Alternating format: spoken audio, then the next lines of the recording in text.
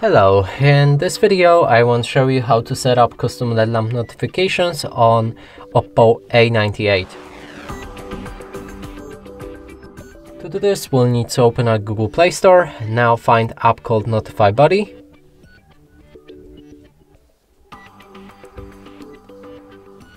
Install it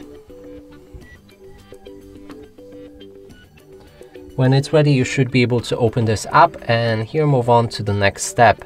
Grant three different permissions for the app.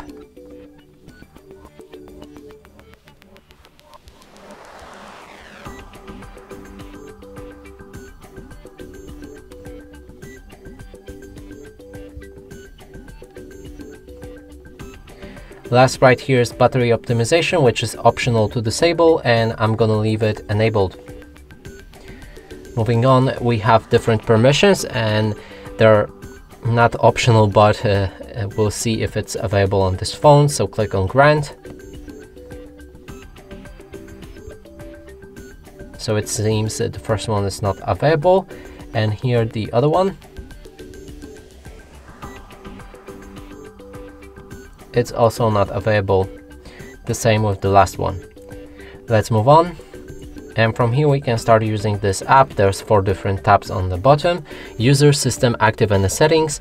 In user you can activate any apps and allow them for a custom LED lamp notifications. In system you can do the same thing but with all system bound apps.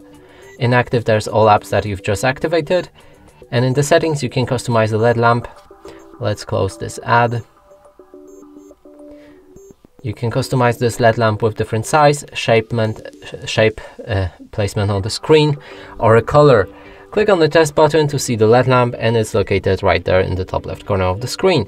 And that's it for this video, hope you like it, please consider subscribing to our channel, leave a like and a comment below.